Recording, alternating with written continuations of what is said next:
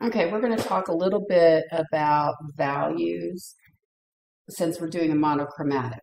Now, once you have your image onto your board, um, if you remember, I stated you need to make sure to remember how many value levels you picked. And you were supposed to be able to pick between four and six, whichever one looked the best.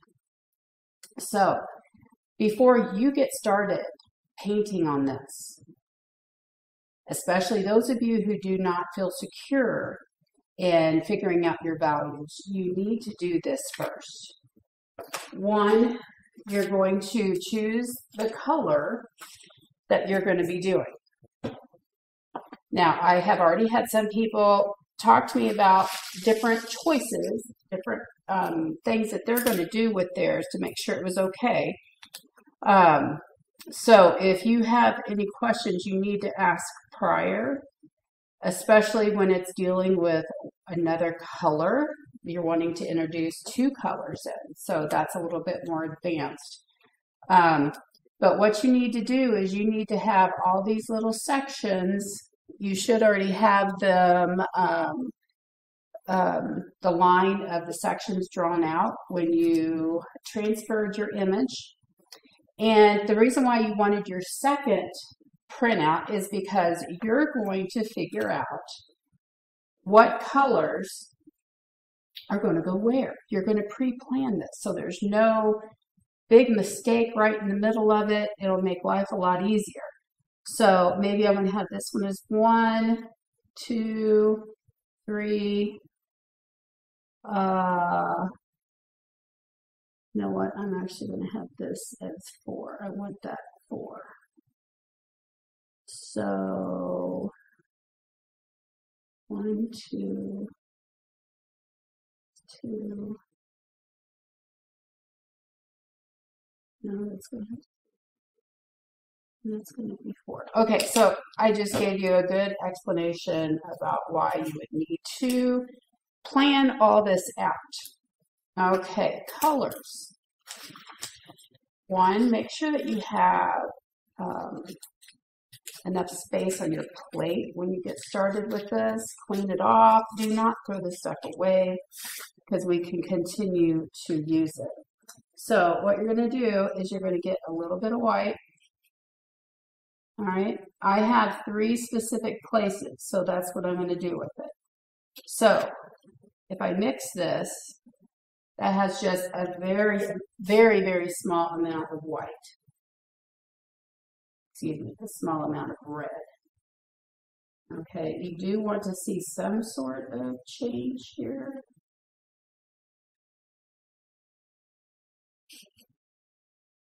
Okay, just remember that this is going to go into the section for one.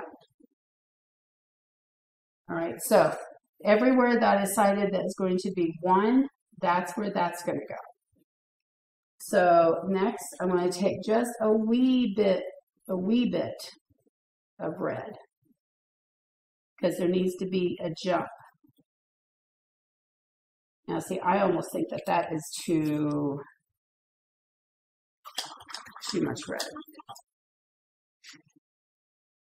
So I'm going to grab a little bit more. There we go. And then I'm going to paint that in two. Now, you want this, your colors, to be opaque. All right, meaning it's a solid grouping of colors.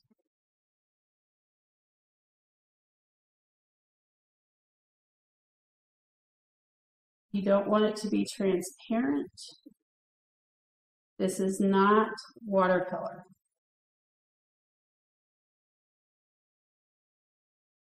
Okay, so that's my other one. I'm going to add a little bit more red to this one.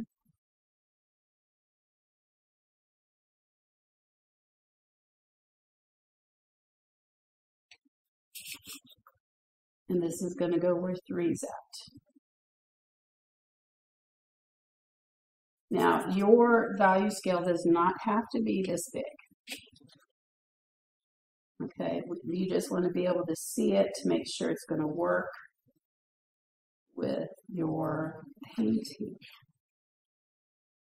And what that you like the colors, because um, one of the most difficult ones to make a value scale out will be yellow. Okay, so now we have four.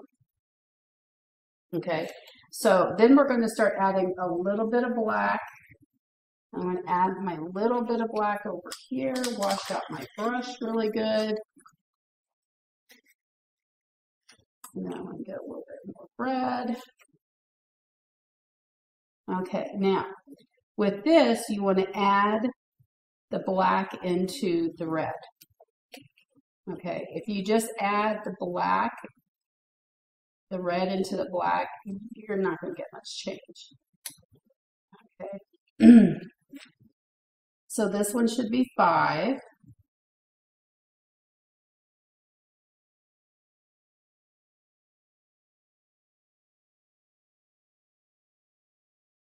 Now, you'll know that if you need to put more paint down, it's when you start getting streak marks. Okay, you want it solid, like what this is, what's going on with this. Because if you have streak marks in your painting, it's not going to be unified. And it'll look uh, quite nasty. So don't do that. Okay, so we just have one more. So we're going to take a little bit more black Now you don't necessarily have to go black. You can go like with a really darker color. But you just want to make sure that whatever color that you have, that you've decided upon, you're going to see a gradual value scale happening.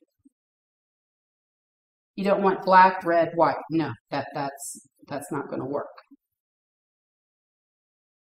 And if you have only three values, you need to go back in and redo that because that's not going to work. Because the requirement was between four and six. Okay. All right, so having this is going to help me plan exactly where all my colors are going to go. So this is almost like a paint by numbers. So you have your numbers, you're going to plan it out on your second page that you printed. If you need one, go print it off because you will need this. Um, and that way you can go ahead and plan. So like this is my six. So this is going to be where all my darks are. Okay, so it's not going to be black. It's going to be a very, very burgundy type color. And then you're just going to go from there. I do suggest only working one color per section once you get this planned out. You don't want to have all these paints already mixed and realize that, oh, crud, I need to go back in and do some editing with my colors. All right.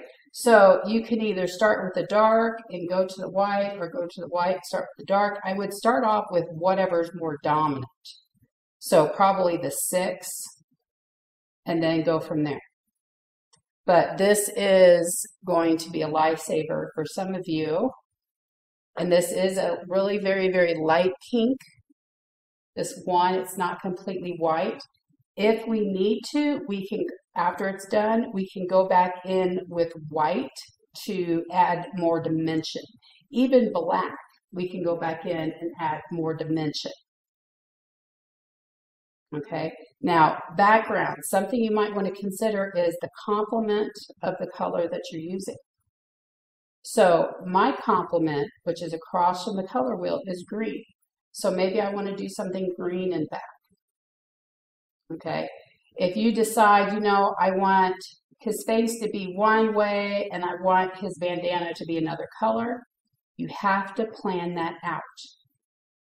This is a monochromatic, so his face could be one color, red, maybe his bandana is going to be blue or gray. All right, so you can combine that, but be careful what you're doing. And I will have um, brushes like this out ready for you to use. Um, it, they're they're better quality than the watercolor brushes that you have. So this is what I use to make this value scale for that painting. So this is required, um, especially those of you that I know are going to struggle with this. So this is going to help you out no matter how advanced you believe you are. That is it.